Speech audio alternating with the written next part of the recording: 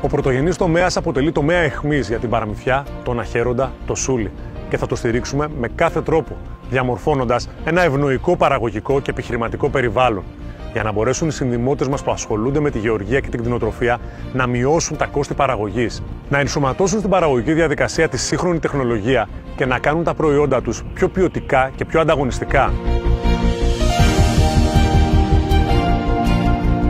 Η αναδιάρθρωση και ο εξυγχρονισμός των καλλιεργειών με σεβασμό στο περιβάλλον,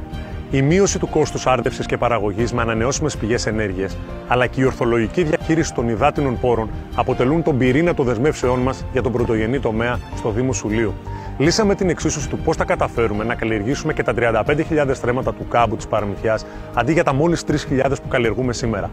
Στο δύσκολο δρόμο της παραγωγικής ανασυγκρότησης τοπικής οικονομίας μας, η επικοδομητική συνεργασία μας με ειδικούς έγκριτους επιστήμονες της αποδημίας είναι το συγκριτικό πλεονέκτημα της επόμενης Δημοτικής Αρχής στο Δήμο Σουλίου. Αυτό το εγγυάται προσωπικά η απόδημη παραμυθιώτησα κυρία Άννα Κούρτη, καθηγήτρια του Τμήματος Βιοτεχνολογίας του Γεωπονικού Πανεπιστήμιου Αθηνών, ως συντονίστρια της Δημοτικής μας παράταξης και υπεύθυνης για την εκπόνηση του προγράμματός μας για την παραγωγική ανασυγκρότηση. Η ανάπτυξη της βιολογικής γεωργίας και κτηνοτροφίας, η διασύνδεση της παραγωγής με την αγορά και η παραγωγή πιστοποιημένων προϊόντων ποιότητας με χαρακτήρα brand σούλη,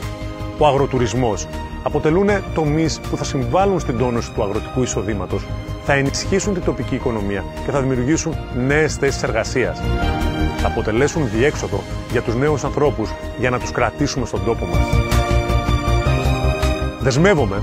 ότι στο Δήμο Σουλίου από τον προσεχή Σεπτέμβριο ένα νέο μοντέλο τοπικής ανάπτυξης θα είναι γεγονός.